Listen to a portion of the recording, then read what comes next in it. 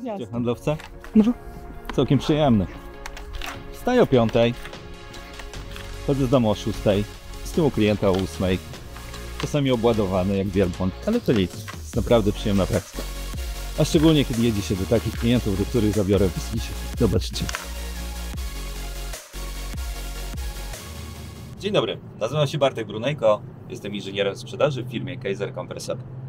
Dzisiaj zabieram Was na bardzo wyjątkową wycieczkę na Mazury, a konkretnie do strudyli firmy OSI Food Solution. Zresztą, zobaczcie sami.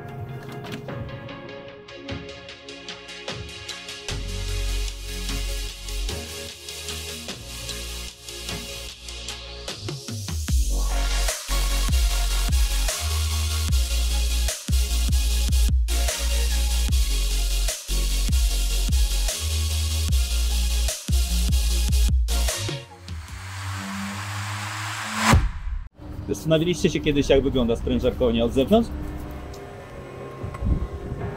Te otwory w ścianie, które tam widzicie, tamtędy wpływa świeże powietrze. W tym przypadku świeże mazurskie powietrze.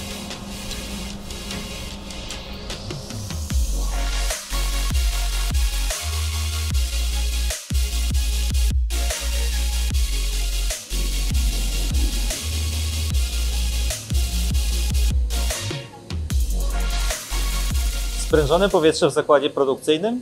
Tak właściwie po co? Dlatego, że bez niego nie byłoby finalnego produktu, jakim w tym przypadku jest produkt spożywczy, czyli mięso. Skąd bierze się sprężone powietrze? Ze sprężarek. Są takie gałęzie przemysłu, które wymagają najwyższej jakości sprężonego powietrza. Na przykład przemysł farmaceutyczny czy spożywczy. Firma Kaiser Kompresoren wychodzi naprzeciw tym oczekiwaniom posiadają w swojej ofercie sprężarki bezolejowe, czyli takie, w których w procesie sprężania powietrza nie dochodzi do kontaktu z olejem. W tym przypadku seria CSG, czyli sprężarka śrubowa, bezolejowa, dodatkowo chłodzona wodą z układem odzysku ciepła o możliwie najwyższych rynkowych parametrach. Sprężarkownia to nie tylko kompresory. Chodźcie, poznajcie kolejne urządzenie.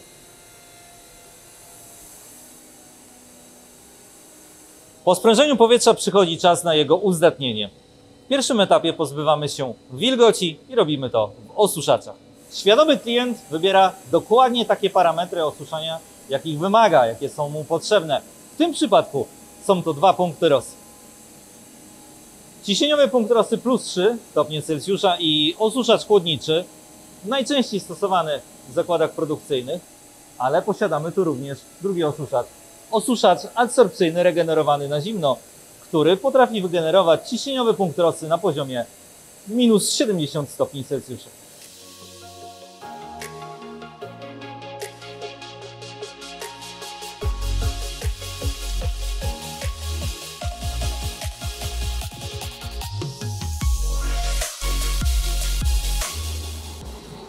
Drugi etap uzdatniania, czyli oczyszczanie.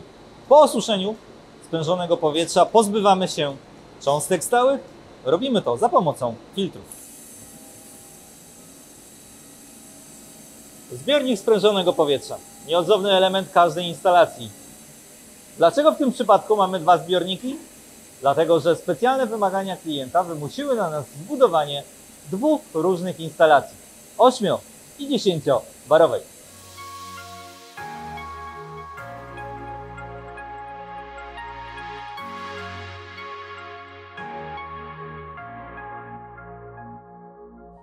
W myśl obowiązujących przepisów instalacje ciśnieniowe muszą być zabezpieczone zaworem bezpieczeństwa.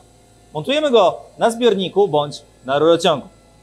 Ten przypadek pokazuje, że można go zainstalować na zbiorniku, ale na wysokości rurociągu, tak ażeby dostęp eksploatacyjny był znacznie ułatwiony.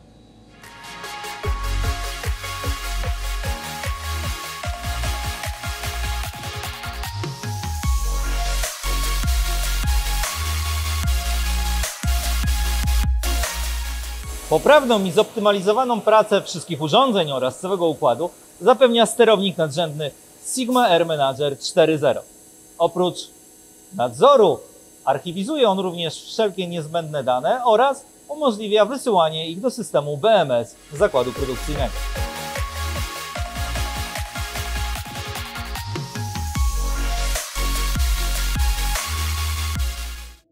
Firma Kaiser Kompresoren kompleksowo wykonała sprężarkownię wraz z instalacją sprężonego powietrza w zakładzie produkcyjnym OSI Food Solutions Polska. Wykonaliśmy dwie sieci pneumatyczne z rur nierdzewnych, spawanych metodą TIG, wraz z instalacją odprowadzenia kondensatu. Układ wentylacji sterowany przez system automatyki zapewnia odprowadzenie ciepłego powietrza z kompresorów i dostarcza świeże powietrze procesowe do pomieszczenia sprężarkowni. Wykonaliśmy rozdzielnię zasilającą oraz podłączenie elektryczne dostarczonych urządzeń.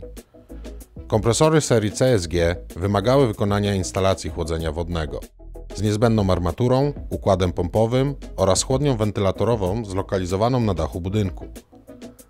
Zastosowany został system odzysku ciepła ze sprężarek, aby podgrzewać ciepłą wodę wykorzystywaną na cele technologiczne i użytkowe.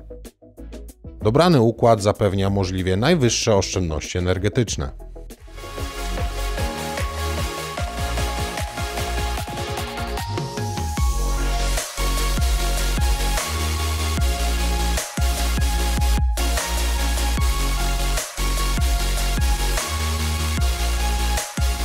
Jest z nami pan Mariusz Musiałowski, dyrektor zakładu OSI Food Solutions Poland. Panie dyrektorze, w trzech słowach, dlaczego tak wysoka jakość i tak wysokie nastawienie na oszczędności energetyczne? Znaczy tak, jeżeli mówimy o jakości, no wynika to z jednej podstawowej rzeczy. Nasz klient jest dosyć wymagający, może nasi klienci bym powiedział, nie klient. E, I, I, standardy, które my sobie stawiamy jako lidera na, na rynku produktów tego typu pod kątem jakościowym, to też nas mobilizuje i, i nobilituje do tego, żebyśmy ten standard utrzymali. Natomiast rzeczywiście jest to też przemysł spożywczy, więc nie możemy odpuszczać e, i nie możemy sobie pozwolić na to, żebyśmy mieli jakiekolwiek odstępstwa, powiedzmy, od jakości. Tak? Stąd, stąd cały program e-food safety nakierowany na właśnie na bezpieczeństwo żywności, mocno promowany wewnętrznie e, i w grupie, bo to też jest nie tylko nasza, że tak powiem, zasługa tutaj w Polsce, ale też mówimy o, o całej Europie, gdzie e, w OSI jako OSI funkcjonuje. Jeżeli chodzi o oszczędności energetyczne, to znowu jest taki możemy powiedzieć, trochę moda z jednej mhm. strony, ale też z drugiej strony wiemy o tym, że tylko w ten sposób jesteśmy w stanie zoptymalizować koszty.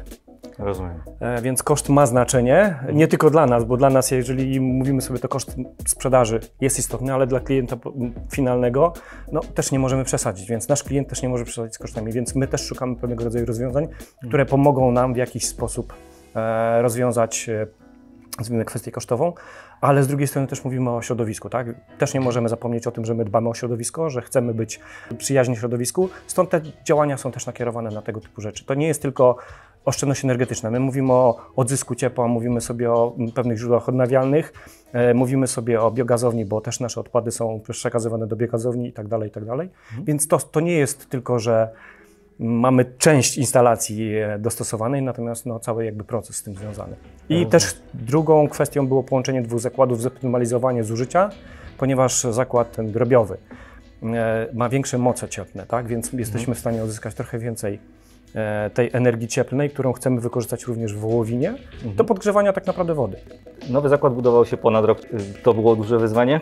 Bardzo. Logistyczne? Bardzo. Zawodowe? Jak się Pan odnajduje po skończonej pracy? E, to jest mój drugi, że tak powiem, zakład, który budujemy. E, przy pierwszym uczestniczyłem jako gość trochę bardziej, mhm. teraz rzeczywiście osobą bardziej koordynującą tutaj w Polsce ten temat. No, to nie jest łatwy temat, nie jest to łatwe wyzwanie po, po, pierwsze jest to skomplikowana inwestycja, z drugiej strony proces przygotowania do tej inwestycji był bardzo też e, tak, długi. Chcieliśmy też to dobrze przemyśleć. E, dwa razy się nam projekt zmienił w międzyczasie, żeby też nie było tajemnicą. Czego Panu życzyć w nowym zakładzie? Spokoju. Okej. Okay. To co? Do tego życzymy? Dziękujemy serdecznie. Bardzo dziękuję również. Powodzenia. Dzięki.